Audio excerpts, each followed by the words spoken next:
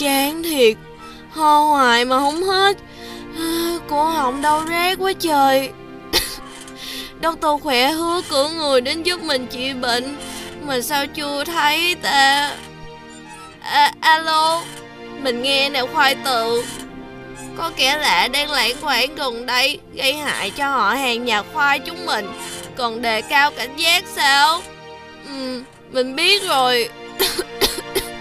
Xin chào là Khoai Lang đúng không? À, Người, người là ai? Doctor khỏe nói mình đến để giúp bạn nè. Tôi nghi lắm. Nhìn đen thui từ trên xuống dưới. Rất là mờ ám. Mấy thích khách trong phim cũng diện nguyên bộ đồ đen đó. Ờ, không phải mà. Thôi, thường là thưởng sách À, bạn đi đâu vậy? Tha cho tôi đi.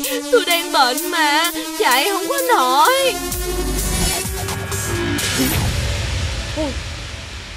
Nè nè nè, hai em Có chuyện gì mà rượt đuổi nhau dữ vậy nè?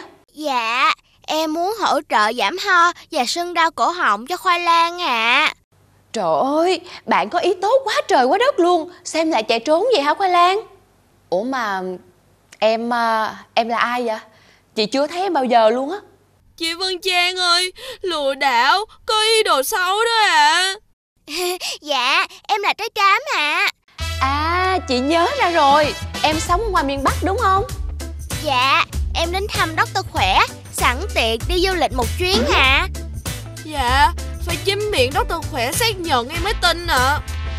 uhm, Cần Doctor Khỏe thế nào nè Doctor Khỏe ơi, có phải bạn nhỏ này là trái trám Có thể trị được bệnh của đường hô hấp không?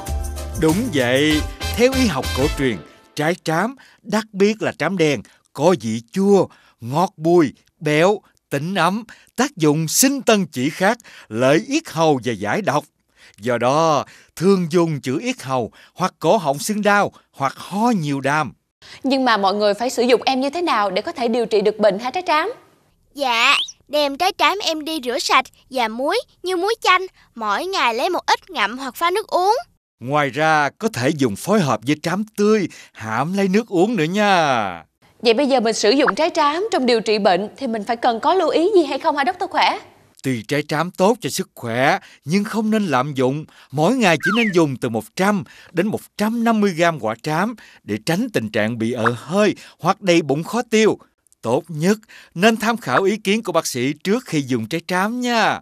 Nếu dùng vài ngày mà không bớt thì phải đi khám bác sĩ ngay.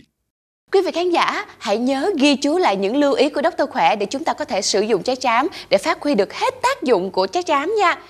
Khoai Lan, bây giờ thì em đã giải tỏa được thắc mắc của mình chưa? Dạ, em hiểu rồi ạ. À.